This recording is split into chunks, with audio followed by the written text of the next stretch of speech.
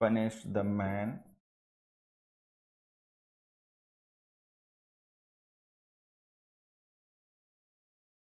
Whom? Take a minute. Who? Who?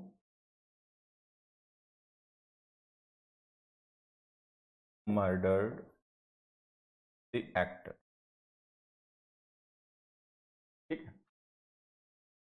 अब जैसे हमने ये सेंटेंसेस लिखे यहाँ पे they punish the man who murdered the actor they punish the man who son murdered the actor they punish the man whom she had accuse ठीक? अब यहाँ पर अगर हम ध्यान से देखें तो ये हमारे रिलेटिव क्लॉजेज हैं।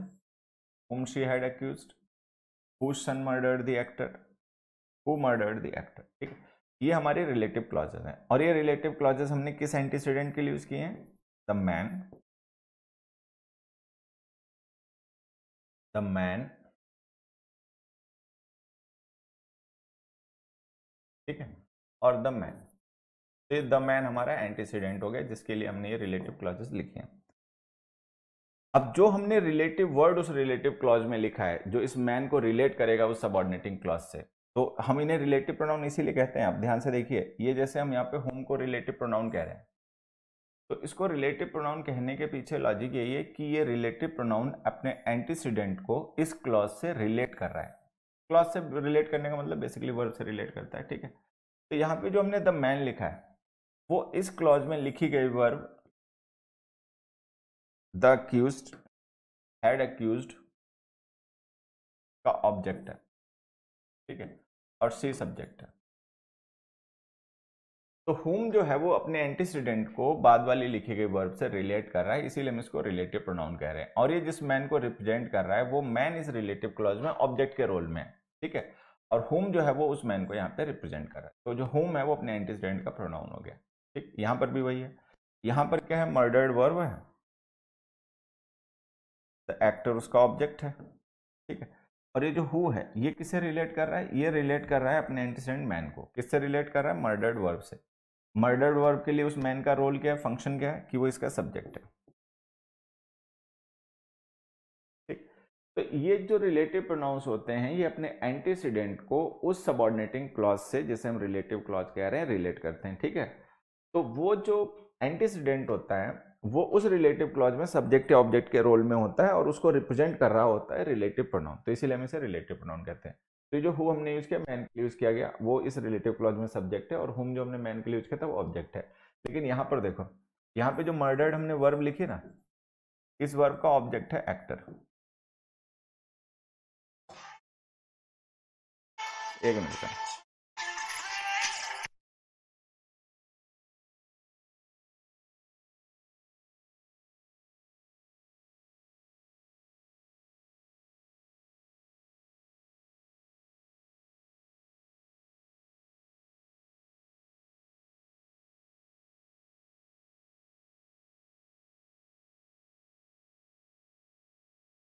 आइसक्रीम ले जा लिया मेरे लिए थोड़ी सी।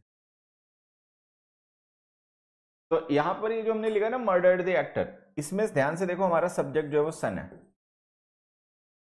अब ये हुज हमने रिलेटिव प्रोनाउन यूज़ किया, किसके लिए? यूज़ किया मैन के लिए। हुज किसे रिलेट कर? रहा है मैन को। लेकिन ध्यान से देखो ये जो मैन है ना, वो इस रिलेटिव क्लॉज में ना सब्जेक्ट है ना ऑब्जेक्ट है। ठीक? यहाँ पे जो मैन हमारा एंटीसीडेंट है, उसके लिए जो हमने प्रोनाउन होम यूज़ किया, वो ऑब्जेक्ट है। यहाँ पर जो हमने उसके लिए प्रोनाउन यूज़ किया, वो सब्जेक्ट है। लेकिन यहाँ पर मैन जो है वो इस रिलेटिव क्लॉज में ना सब्जेक्ट है, ना ऑब्जेक्ट है। एक्चुअली जो उसके लिए हमने वर्ड यूज़ किया, वो एक डिटर्मिनर का काम कर रहा है सन के साथ में। ठीक है? द मैन हुज सन तो हुज इज़ अ डिटर्मिनर तो इसलिए मैंने आपको समझाया कि जो हुज वर्ड होता है ना, ये रिलेटिव प्रोनाउन नहीं है। ये रिलेटिव एडवर्ब ऑफ़ पोजेशन है। ठीक है? रिलेटिव प्रोनाउन जो होते हैं, वो सेंटेंस में प्रोनाउन के फ़ंक्शन में होते हैं। प्रोनाउन का फ़ंक्शन का मतलब होता है सेंटेंस में सब्जेक्ट या ऑब्जेक्ट होते हैं। ठीक है? लेकिन ये जो हुज होता है, ये सेंटेंस में सब्जेक्ट ऑब्जेक्ट नहीं होता है। सब्जेक्ट ऑब्जेक्ट वो होता है जिसको ये डिटरमिन कर रहा होता है। तो हम इसको रिलेटिव प्रोनाउन नहीं कहेंगे, हम इसे कहेंगे रिलेटिव डिटर्मिनर ऑफ़ पजेशन ठीक है? ये आपको ध्यान रखना है। तो चलो ये यहाँ से इंट्रोडक्शन हो गया। अब थोड़ा सा और आगे बढ़ते हैं। रिलेटिव क्लॉजेस के बारे में एक दो बातें जान लेते हैं। देखिए, हमने यहाँ पर एक सेंटेंस लिखा। मोहन हु ये छोड़ो, पहले इजी एग्जांपल से समझाता हूँ। एक मिनट बच्चों। मैंने एक एग्जांपल लिखा। My father, who met you there,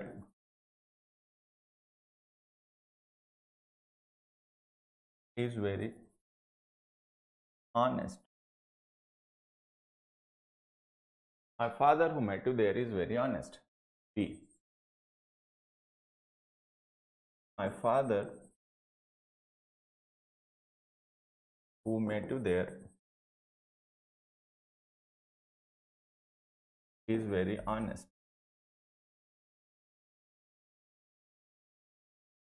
अपने लिए भी ले आते हैं my friend who met you there is very honest. A D. My friend who met you there is very honest.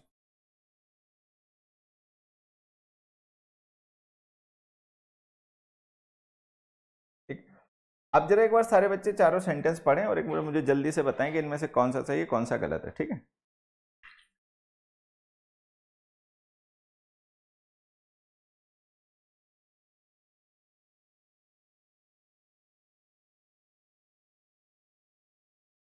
ये चारों सेंटेंसेस पढ़िए और फिर मैं ना इनको थोड़ा सा आपको एक्सप्लेन करता हूँ। जो बच्चे इनमें डिफरेंस समझते हैं, वो जल्दी से बताएँ कि इनमें से कौन सा सही है, कौन सा गलत है।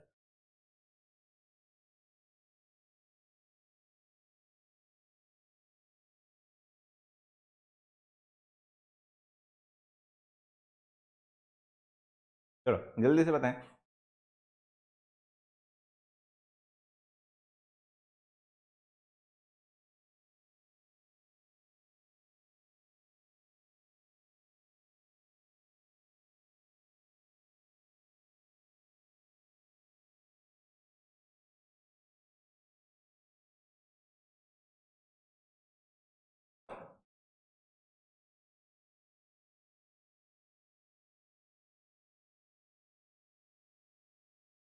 डिफरेंस दिख रहा है सबको कि थोड़ा सा मैं डिफरेंस क्लियर कर दूँ? हम्म? मेरे हिसाब से तो सबको दिखना चाहिए डिफरेंस लेकिन चलो अगर नहीं दिख रहा है तो अब देखना।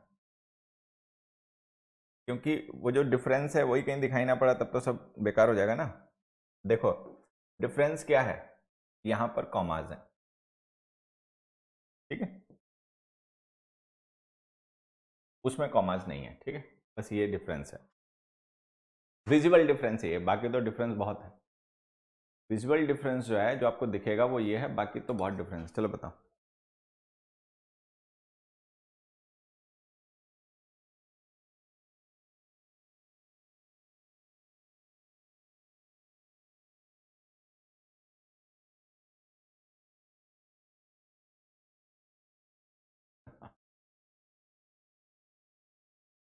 अब देखो।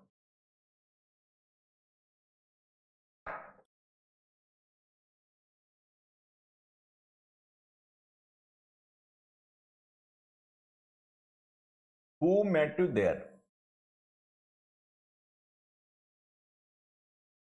ठीक है? Who met you there? Who met you there? Who met you there? ये हमारे रिलेटिव क्लॉजेस हैं, ठीक है? जो हमने अंडरलाइन कर दी हैं ग्रीन अंडरलाइन है, ये हमारी रिलेटिव क्लॉजेस हैं। बाकी जो बचा रह गया वो मेन क्लॉज है, ठीक है?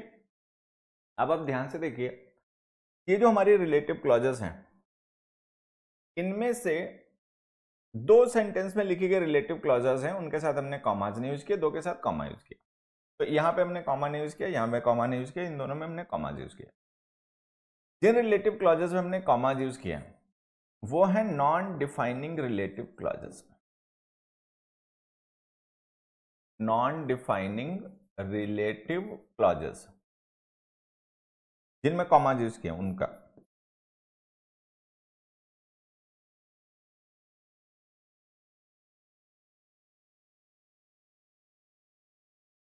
ठीक है? अच्छा जिनमें कॉमाज नहीं यूज़ किए, वो हैं डिफाइनिंग रिलेटिव क्लॉजेस वो हैं डिफाइनिंग रिलेटिव क्लॉजेस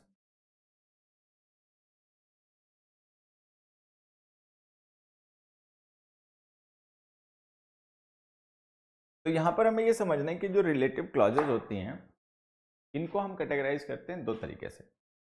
डिफाइनिंग ठीक है and non defining relative clause ठीक है? हाँ बिल्कुल अभी डिस्कस कर लेते हैं बच्चे थोड़ी सी मेरी आइसक्रीम है, ये पिघल जाएगी नहीं इधर। Defining defining non defining non defining अब सबसे पहले कि हम पहचानते कैसे कि कोई क्लॉज डिफाइनिंग है नॉन डिफाइनिंग है, ठीक है? देखो, उसका तरीका होता है ये कॉमाज नॉन डिफाइनिंग कॉमाज जो नॉन डिफाइनिंग रिलेटिव क्लॉजेज होती हैं, वो कॉमाज के साथ लिखी जाती हैं, ठीक है? और डिफाइनिंग होती है विदाउट कॉमाज लिखी जाती हैं। तो ये तो हो गई बात आइडेंटिफिकेशन की, कि डिफाइनिंग नॉन डिफाइनिंग क्लॉजेस का आइडेंटिफिकेशन क्या हो गया? कॉमाज हो गया ठीक? अब हमें समझना है कि ये क्या पर्पस मतलब सर्व करती हैं कि अगर हम डिफाइनिंग क्लॉज लिख रहे हैं या नॉन डिफाइनिंग क्लॉज लिख रहे हैं तो ये डिफाइनिंग नॉन डिफाइनिंग क्या पर्पस सर्व करते हैं सेंटेंस ठीक है मतलब हम इनको क्यों यूज़ करते हैं? मतलब क्या होता है? तो देखिए, समझिए।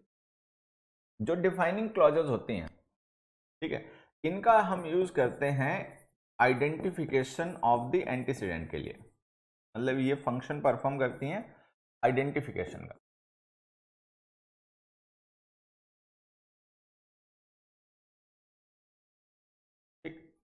जो नॉन डिफाइनिंग क्लॉजेस होती हैं, वो केवल एडिशनल इंफॉर्मेशन कैरवे करती हैं और वो आप मान सकते हैं कि इलेबोरेशन होती हैं। वो आइडेंटिफिकेशन नहीं होती, वो एंटीसीडेंट के बारे में कुछ इलेबोरेट करती हैं। मतलब वो इलेबोरेशन होती हैं, ठीक है?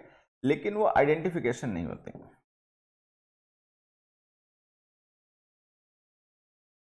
इसको आप बुक्स वगैरह में पढ़ेंगे तो हो सकता है कोई दूसरे टर्म यूज़ कर रखे हो यही बात को कहने, बताने, समझाने के लिए, ठीक है? वो भी अच्छे टर्म्स होते हैं, जैसे एसेंशियल नॉन एसेंशियल कई बार लिखा होता है कि डिफाइनिंग क्लॉजेज होती हैं they carry some essential information ठीक है about their antecedents and non defining clauses carry non essential information about their antecedents वो भी सही है, अच्छी तरीका है वो भी। ये मुझे लगता है थोड़ा जल्दी क्लिक कर जाता है। ये टर्म जो है ना आइडेंटिफिकेशन एलेबोरेशन ठीक है, ये मुझे लगता है कि हमें जल्दी समझ में आ जाते हैं। या हम इनके थ्रू बात को ज़्यादा मतलब इफेक्टिवली कन्वे कर लेते हैं, ठीक है? तो अब आपको समझना ये कि जो हमारी डिफाइनिंग क्लॉजेज होती हैं, इनका पर्पस होता है आइडेंटिफिकेशन ऑफ़ द एंटीसीडेंट ये एंटीसीडेंट का आइडेंटिफिकेशन कराने के लिए लिखी जाती हैं, ठीक? नॉन डिफाइनिंग क्लॉजेज जो होती हैं, वो एंटीसीडेंट का आइडेंटिफिकेशन नहीं करती हैं, वो उसके बारे में कुछ एलेबोरेशन दे देती हैं। मतलब कुछ एडिशनल एलेबोरेशन मिल जाता है। अदरवाइज़ अगर हम ना भी यूज़ करें, तब भी हमारा proper meaning proper contact convey हो रहा होता है। अब एग्ज़ाम्पल के मीनिंग से बात समझते हैं। देखो।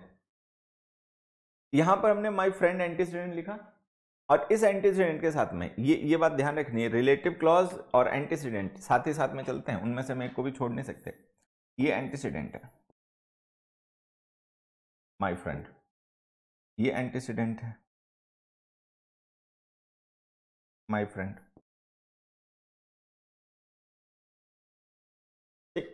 तो अब हमें समझना यहाँ पर है कि जो एंटीसीडेंट है रिलेटिव क्लॉज अगर डिफाइनिंग है तो उसका आइडेंटिफिकेशन कराती है। जैसे हमने लिखा my friend who met you there is very honest तो जैसे किसी पर्सन ने कहा कि my friend is very honest और उसके फ्रेंड एक से ज़्यादा है।